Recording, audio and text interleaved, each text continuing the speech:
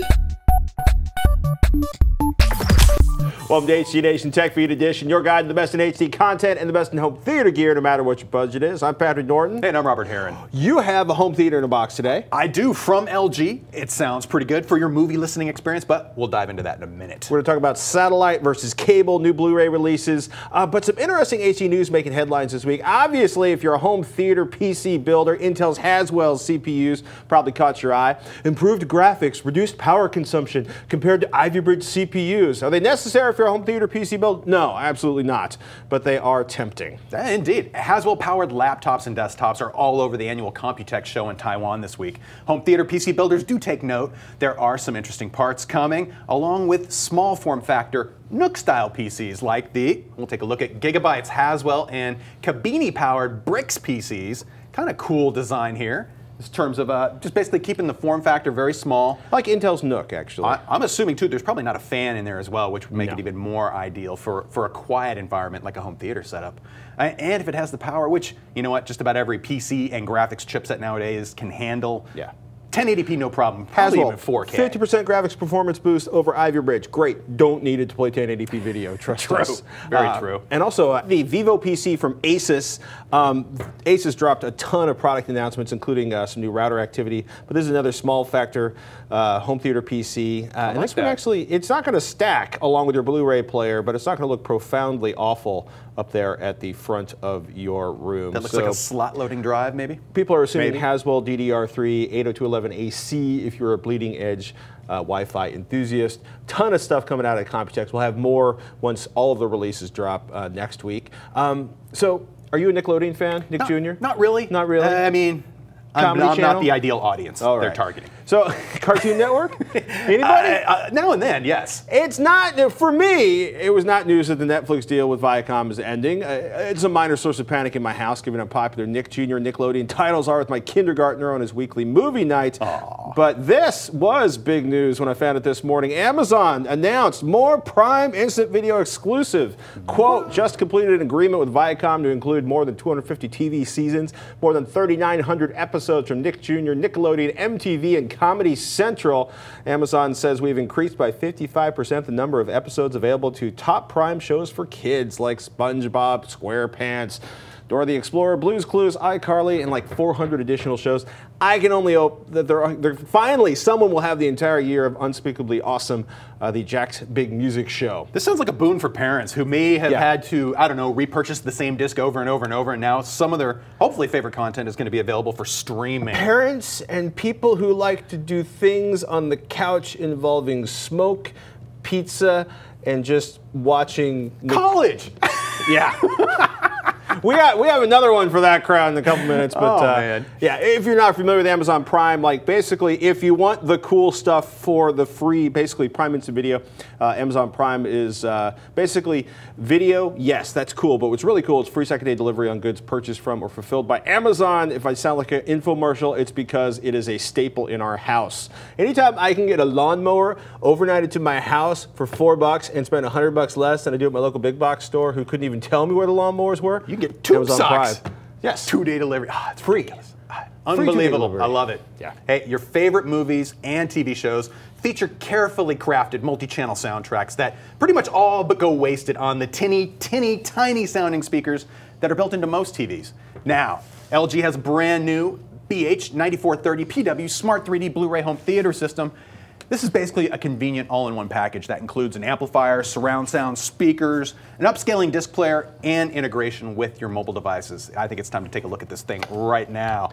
It's, you it's are like a holding that. speaker on a stick. It is a speaker on the stick. One of the front channel speakers. Let me grab the receiver. So 5.1 speaker system, wireless rear channels. Uh, You got it. The LG BH9340 PW sells for 800 bucks. Uh, Wi-Fi, Ethernet, USB, Bluetooth, uh, Miracast. Miracast. Cool. Uh, near field communication, so you can tap the box because everybody wants to get off the couch to tap their home theater system. That's a pretty feature, uh, pretty easy feature to enable, actually. uh, this is a 4K upscaling Blu-ray player, though, complete with uh, all the apps you would expect from you know your Blu-ray playing experience. Also on the back of this baby is a two-port HDMI switch, giving it some of the functionality you'll see with with uh, compared to say a standalone AV receiver. Uh, for a device like this, you're talking simple setup. Actually, let me highlight part of that simple setup is its speaker connections. One, you are using custom speaker wire in the sense that they feature these very, I don't know, almost like Ethernet style connection jacks that are color coded, uh, making it not only simple to assemble the speaker itself as far as just needing a Phillips screwdriver, but these color coded connectors, which match the ports on the back, make it simple just to get the right speakers connected to the right ports.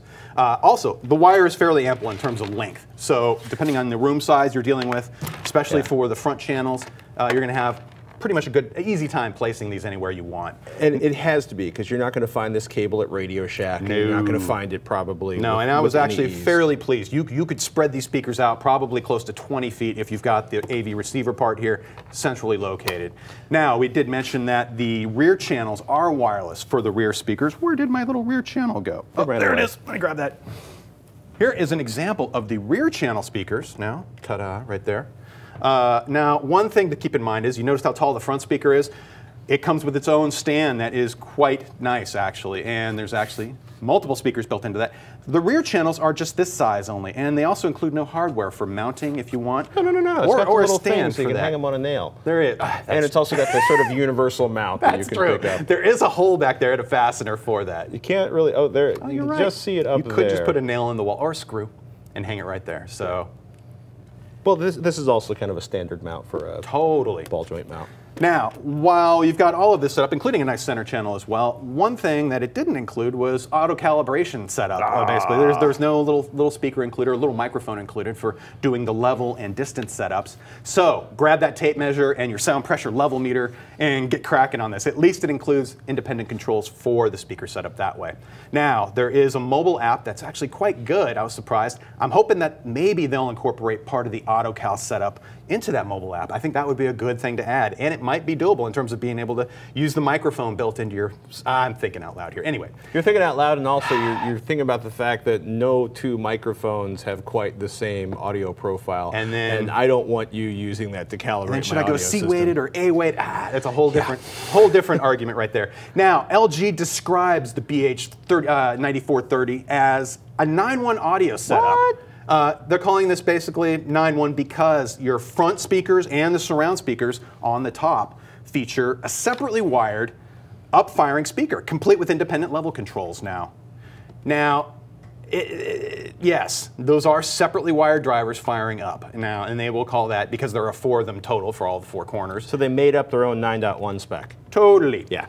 Now I will say that the speakers are balanced. These are fairly small drivers, about two and three quarter inches with a decently tuned sub. But no surprise, of all the sound processing this thing is capable of, I found the bypass button to be the most effective and preferred preset of you all. You didn't want to go for the giant concert hall or the traditional acoustic opera environment or the, what is, I mean, what, what were the settings? I mean, Not at all. Uh, the big one really for this setup is something called 3D sound. Oh and dear. it's for specifically for modes optimized for music and movies. Mm -hmm. Every time I enabled this feature, one button press, it's really nice on the remote, the sound just became hollow and echoey at best, and this will simply be ignored by most purists. Easy enough to disable, like I said, one other button just to go to bypass mode. However, for my DVD and Blu-ray movie playback, the LG Home Theater system, it actually resulted in a pretty solid listening experience that will blow away any TV speakers and most soundbars. Vocal clarity from the front channels was very good, and I felt fairly well enveloped by the surround sound tracks that I listened to.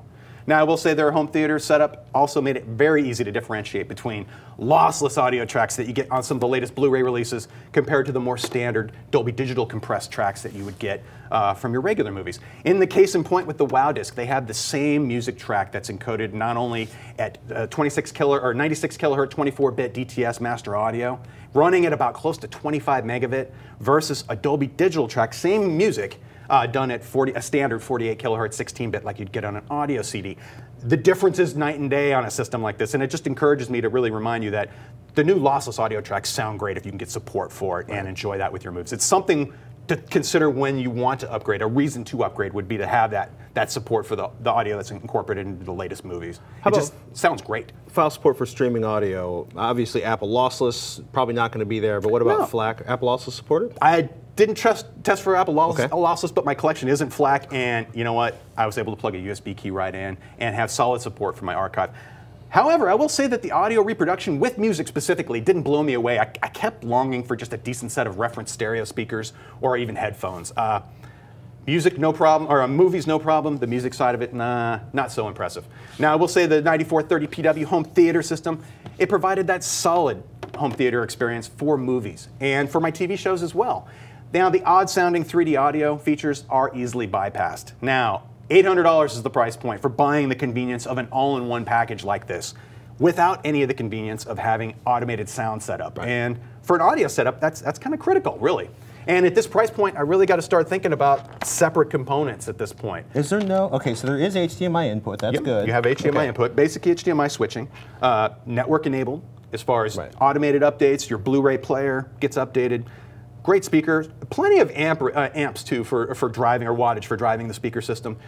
No loss of volume here. You got, you'll get plenty of sound out of it. And if you stick to your standard Dolby Digital DTS formats and the lossless formats for movies, it's going to be great. However, I just priced out a system with like a Sony AVR, Energy 5.1 speaker kit, stuff I basically found on Amazon that had good reviews. Mm-hmm. You add something like a spool of speaker wire and whatever sounds or mounts or speaker stands or mounts that you like, and you're set for you know a price point that you could probably hit a little bit less than this. So, a couple hundred less. Yeah. Yeah. Yeah. However, it's the convenience factor. Having it all in one box, arguably an attractive design, and it worked pretty well for my for my movies, and for that, I, I loved it. Excellent surround sound. Keep the effects off. Don't worry about the fact that the Blu-ray player and the amp are all in one box. No. Even if it's you want to upgrade later on. And I, I am uh, when we first looked at this at mm-hmm. CES, actually, they had originally positioned this as having four identical tower speakers. By the time it actually hit the stores, I'm not seeing tower speakers available as an option. Period. You are getting different speakers on each corner, essentially the two towers for the front and the two surrounds for the rear. I'd prefer to have four identical speakers. But right. if you look at the trend for 2013, I'm seeing all of the home theater kits are actually including the smaller rear channels. And I don't know if that's just a trend to save money, but it's something to keep in mind. I, I prefer five identical speakers if possible, but right. in this case, that's one of the one of the differences you'll see between this and other setups. Not quite thumbs down, not quite thumbs up. No, for, for movies it's great, but again, 800 bucks. I'm I'm I'm considering separates. Okay, that's really what it comes down to. Blu-ray picks, people. Let's talk about the Blu-ray picks for the week of June 4th, 2013 for the couch crowd looking for something to watch with their pizza. Number one with a bullet. Adventure Time, the complete first season on Blu-ray. Yes, the cartoon's Emmy-nominated series about Finn and his magic dog Jake and their post-apocalyptic adventures is most beloved. But mostly, I'm thrilled with any cartoon comes out with all the episodes on one season on one disc. 286 minutes of joy here, one 11-minute episode at a time. And by the way, the complete second season also coming out this week. If you're an Adventure Time fan, it is a good week for you.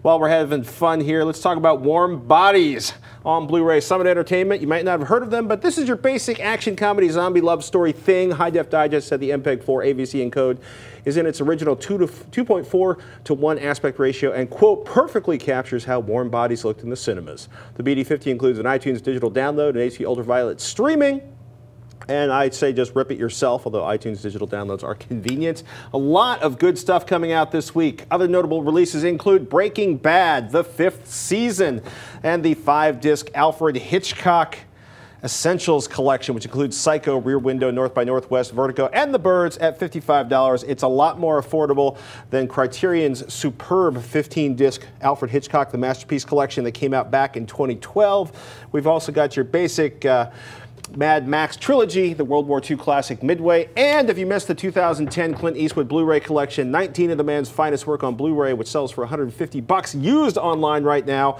you'll be thrilled to know that Warner has just released the Clint Eastwood 20 film collection on Blu-ray. No, the man with no name ain't there. Warner doesn't have the rights to the Sergio Leone films, but there's some great stuff here, both with Eastwood acting and directing. Dirty Harry, The Outlaw, Josey Wales, Mystic River, Million Dollar Baby, Invictus, uh, Invictus, I should say that properly, Letters from Iwo Jima, and quite a bit more. And yes, while I do love Bruce Willis, and as much fun as I had watching Live Free or Die Hard, let's not talk about a good day to die hard. Go look for Looper or Moonrise Kingdom or Live Free or Die Hard if you're looking for some Bruce Willis powered mayhem. Looper, loved it. Looper, loved it. Not bad. There's some, there might be a plot hole or two in that movie, but don't think about it too hard.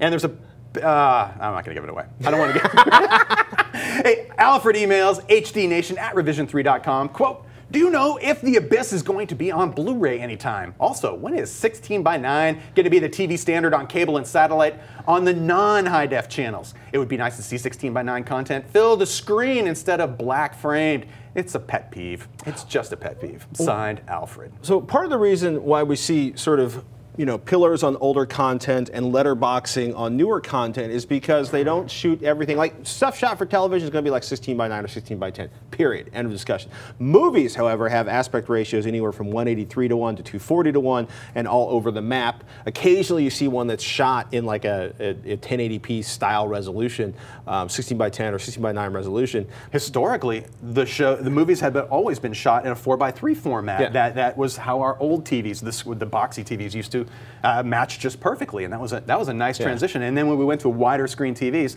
the aspect ratio, or the shape of the picture, wider screen movie theaters Exactly.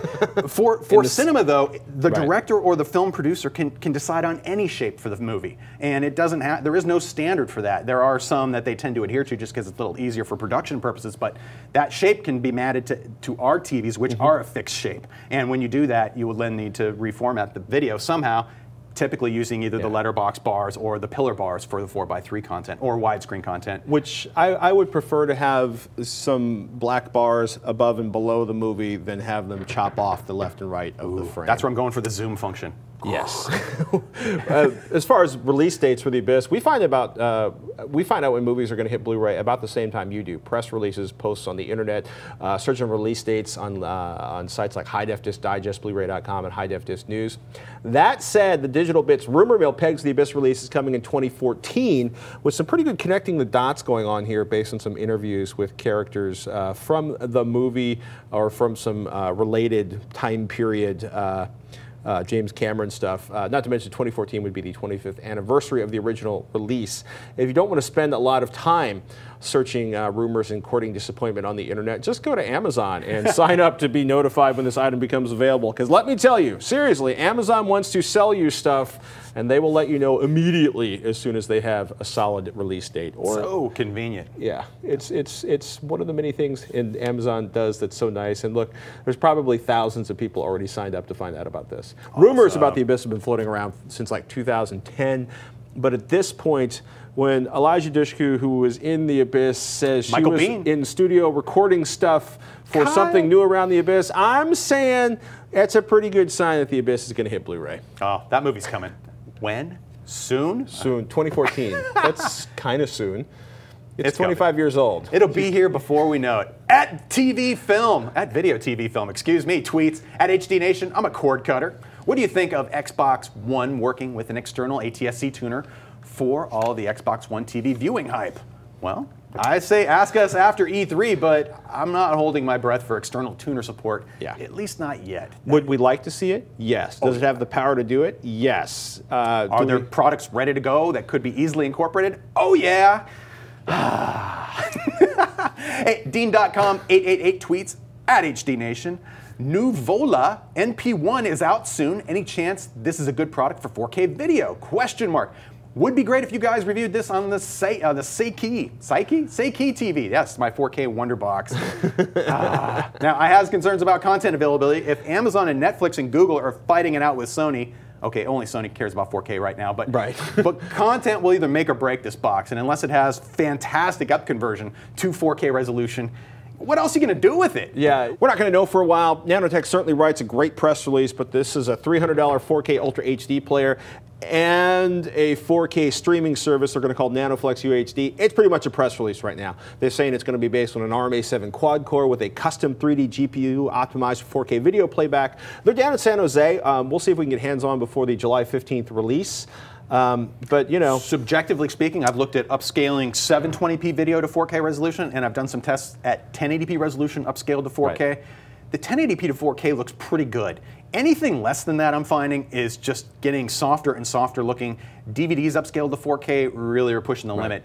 If you're sitting at the same viewing distance, you can always move further back to help improve when you're viewing lower resolution video on a high resolution display. But overall, if you're doing any kind of up conversion to 4K, I hope they're starting with Blu-ray quality video Right. to make it to make it the best experience possible for a 4K system. Yeah, it's tough. I mean, they're competing with the biggest, the biggest, deepest pockets uh, over content rights. I mean, and it's interesting. So you know, they they they can create GIF files from MP4s. Uh, you know, they they apparently have a multi-pin, a multi-game pinball machine system out. Uh, they do Android applications. So I- mostly though, they're really excited on their website about talking about uh, how happy their investors are. Hey, you know what? It's look. At least they're starting with kind of a couple known entities: an inexpensive ARM processor uh, and Android. So we wait. Lots of my favorite buzzwords. Bring it on! Quad HD, 4K, whatever you want to call it. Oh man, We Greg- love you either way. Greg and Tony tweet: Had HD Nation bought a new house? We're deciding between Dish Network or Time Warner Cable. Has satellite gotten any better? Um, define better. Uh, I, you know, I haven't. I don't think I've had cable or satellite in five years, maybe longer. Um, I would say quality of live TV. I would say cable will win Right. every time. However, in terms of just features and how you want to watch TV, the stuff Dish Network's doing right now in terms of being able to download your, being able to record all of prime time at once, whether or not you need to, and then be able to pick and choose the shows you want at a later date. Those kind of being able to view anywhere in your home easily and sharing that content with your mobile devices, they're as far ahead of this as anybody doing it right now. And uh, especially if you're into mobile. If you're just looking for straight live TV quality, I'm, I'm always leaning more toward cable. In my in my personal hand, or eyes-on viewing experiences side by side. it can vary considerably depending on the quality of your cable provider because cable providers are very regional and very local. Part of the reason i went with directv is you know and this was like five or six years ago is Comcast here in San Francisco when I lived here was doing a horrible job at compressing the hell out of everything, so everything looked awful. And I could get all the same channels, spend almost 40% less by going with DirecTV. DirecTV also had the DVR options that were available at that point. So, you know, check locally, you know, see if you can find anybody, you know, Dish, a Dish demo is going to look pretty legitimate. See if you can find somebody's Dish or DirecTV to look at and talk to your neighbors and take a look at what their HDTV looks like. If their quality looks great, you might want to think about Time Warner Cable. If the quality looks awful, or if it's like $3,000 to get the combination, a month to get the combination of channels you want, you may want to start looking at the satellite options. Totally, and for me too, it's also if you're dealing with a household environment where it might be multiple rooms instead of just the home theater room. That's where some of the additional ways of streaming content around the house might be more cost-effective than going with separate cable boxes in every room. Uh, that's why I kept pointing back to for Dish Network in that case. Their Hopper technology in particular, it's some some cool stuff there in terms of just having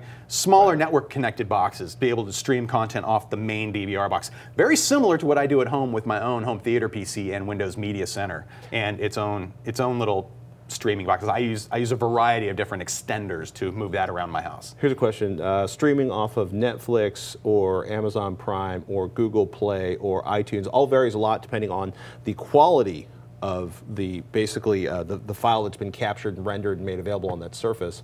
Um, that said, do you find those comparable, better, or worse than the the Dish or DirecTV streaming? It, for, that uh, the, the streaming experience should be pretty standard because you're within your home network environment, and speed should be no problem. Uh, we're not talking about having to trans, transfer anything over the internet. This is all staying local once it's in your house, at least. Uh, beyond that, it would be more about ease of use. Really, is, is it just going to work for you with with the hardware setup you've got? And as far as quality goes, it I all everybody's offering like a 1080p downloaded type video scenario now. You you can do like a on-demand scenario where from either cable or satellite mm-hmm. receive very high quality content now. But for live programming in particular, like your sporting events, stuff you're going to watch live in a live event. Generally speaking, I find that they're compressing the bits on the downstream uh, more so on your satellite feeds than with cable. However, there are other technologies. If they keep moving forward with, say, H.265 Right. on your downlinks and the hardware gets upgraded, you could suddenly create a much better looking picture over the same available bandwidth. Those kind of it's that i- when you're shooting signals from space, you're Right. a little more confined than you are running it over a piece of copper into your house. So or, your, your preferred would be like over the air, a quality cable service, Those two should be identical. satellite, and then at the bottom of the pile probably streaming services. Yeah, for, for especially when it comes to live content, because uh, if it's pre-recorded, you know that's where it's going to be pretty much up to how you got it into your system to begin with. It's, it's that content where it's like, you know, I'm going to turn on this live sporting event, and I just want to make sure that everything I'm seeing is as good as it was delivered from the broadcast center, either either locally there at the event or or from wherever it's coming from. And before we go, let us tell you about Revision 3's new network, TestTube. TestTube.com is awesome, people. We're exploring science, the nature of things, life, curiosity. It sounds all fluffy, but there's a lot of really, really good videos here. Check out the new shows at TestTube.com. Tell your friends, and do me a favor, start with TestTube.com slash nature slash grass, because grass hates you and our buddy Anthony Carboni is going to tell you why. And that's it for this episode of HD Nation Tech Feed Edition. Please subscribe to Tech Feed to get our show on your YouTube lineup and tell us what you think. That's right. Please post any comments, questions, or suggestions right down below. And until next time, thank you for watching.